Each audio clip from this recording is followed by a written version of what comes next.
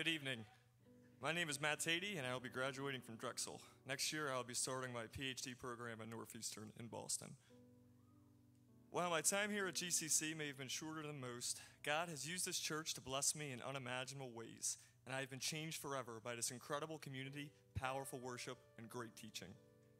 As I sat down to write this testimony, I felt much like the writer of Hebrews, who says in chapter 11, And what more shall I say?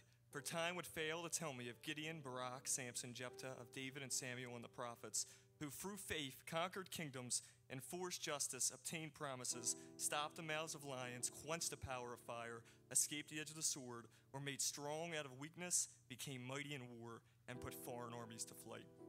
I cannot possibly share of all the things I've learned here in such a short period of time, and so when I thought about the most important thing that God has taught me, it became obvious. Although I have struggled with a lot of things and continue to do so to this day, the biggest impediment to my relationship with Jesus and the others was my lack of love. Ever since I was a young child, I knew intellectually all of the things of God and about his character from the Bible, but it was extremely difficult for me to truly believe that the God of the universe, the creator of the sun, the moon, the stars, the galaxies, and the oceans, could actually love me because I never loved myself. Eventually, I came to realize that God's love is the most powerful force in the world and that it is stronger than my own doubts, fears, and insecurities. After this revelation, I was able to accept Jesus as the Lord and Savior of my life. When I first joined GCC, I was finally able to believe that God loved me, but it was still incredibly difficult for me to love the others.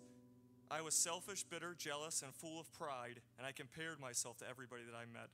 I was extremely difficult to get along with and would argue tirelessly with people over my views and opinions, always trying to prove that my way was the best way.